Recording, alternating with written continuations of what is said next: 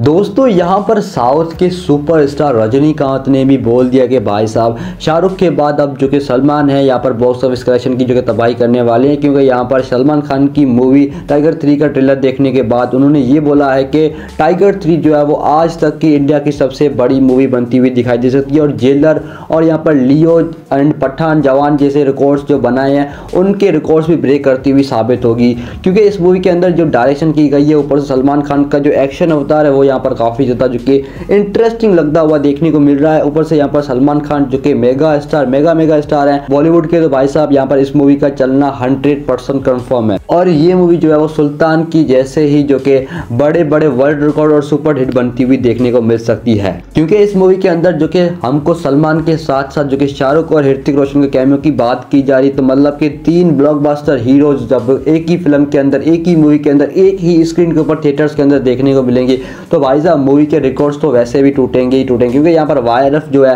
वो अपने spy universe को और ज़्यादा आगे बढ़ाती हुई देखने को मिल रही है। तो उस हिसाब से यहाँ पर हम अंदाज़ा लगा सकते हैं कि भाई साहब, अगर यहाँ पर ऋतिक रोशन को जो है, वो इस मूवी के अंदर कैमियो दिया जाता है वार टू के लिए। यानी कि हमको इस मूवी के अंदर कबीर, पठान और टाइगर तीनों देखने को मिलने वाले ऊपर से जोया भी जो कि फाइटिंग करती हुई दिखाई देगी। और ये तीनों जो कि सिर्फ़ और सिर्फ़, और ये चारों जो है, वो सिर्फ़ एक विलन के सामने खड़े होंगे। वो है भाई साहब इमरान हाशमी, यानी कि पाकिस्तानी खुफिया एजेंट। तो अब यहाँ पर देखना ये है कि इमरान हाशमी को कितना पावरफुल बताया जाता है इस मूवी के अंदर, क्योंकि जैसे कि पठान के अंदर जॉन इब्राहिम यानी कि जिम को जो है वो काफ़ी ज़्यादा पावरफुल बताया गया था पठान से, लेकिन अब इस मूवी के अंदर जो है वो इमरान हाशमी यानी कि पाकिस्तानी एजेंट को जो है वो भाई साहब काफ़ी ज़्यादा पावरफुल बताया जाएगा इस मूवी के अंदर। अब देखना ये है कि कैसे जो कि स्पा यूनिवर्स जो है वो पाकिस्तान से लड़ता है। आई एम सॉरी पाकिस्तान नहीं, पाकिस्तान के खुफिया टेररिस्ट से लड़ता है और कैसे जो कि टाइगर को बचाता है। मतलब कि भाई साहब इस मूवी के अंदर काफ़ी ज़्यादा हिंदुस्तानियों के अंदर जो घूस बम्स आने वाले और ये जो मूवी है यहाँ पर देशभक्ति का मैसेज के साथ ही साथ जो है, भाई साहब, अपनी फैमिली को कैसे प्रोटेक्ट करना चाहिए, वो भी जो मैसेज है, वो हमको पहुंचाती हुई दिखाई देगी। इसी वजह से जो है, इस मूवी को काफ़ी ज़्यादा हाइप मिलती हुई दिखाई दे रही है और ये मूवी जो है, वो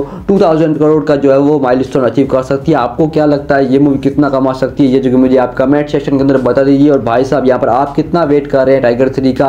ये भी जो कि मुझे आप कमेंट सेक्शन के अंदर बता दीजिए। भाई साहब जस्ट वन वीक पहले रिलीज़ से जो है, वो इस मूवी की एडवांस बुकिंग होना स्टार्ट हो जाएगी। अब भाई साहब, इंतज़ार की घड़ियाँ खत्म होने वाली क्योंकि यहाँ पर फाइव नवंबर को जो है वो इस मूवी की एडवांस बुकिंग होती हुई देखने को मिलेगी। अब यहाँ पर देखना ये है कि एडवांस बुकिंग के अंदर ये मूवी कितने रिकॉर्ड तोड़ती है। तो सारी चीज़ें जो कि हम इस चैनल के ऊपर डिस्कस करते रहेंगे। चैनल के ऊपर नए हो, चैनल को सब्सक्राइब कर दीजिए। सलमान खान के फैंस हो तो वीडियो को लाइक ज़रूर कीजिएगा। और यहाँ पर बॉलीवुड की खबरों से अपडेटेड रहना चाहती हो तो हमारे चैनल को सब्सक्राइब कर दीजिए। Thank you so much for watching Hare Krishna, Radhe Radhe.